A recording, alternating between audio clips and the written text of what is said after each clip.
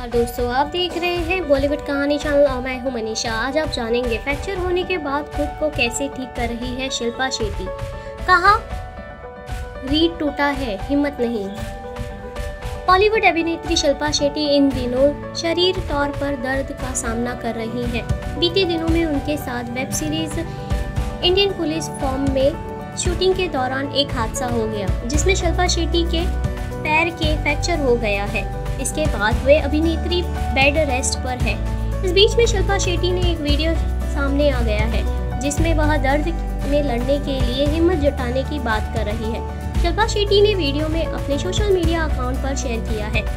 Shilpa Shetty social media पर काफ़ी active रहती है। वह अपने फैंस से जुड़े रहने के लिए अक्सर खास तस्वीरें और वीडियो शेयर करती रहती हैं। उन्होंने अपने आधारित इंस्टाग्राम अकाउंट पर एक वीडियो शेयर किया है।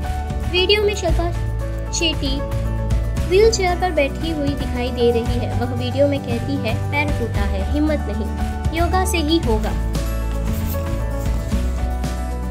इसके बाद वीडियो में शिल्पा शेट्टी व्हील चेयर पर बैठी योगा करती नज़र आ रही है। इस वीडियो के साथ दिग्गज अभिनेता लंबा पोस्ट भी किया है।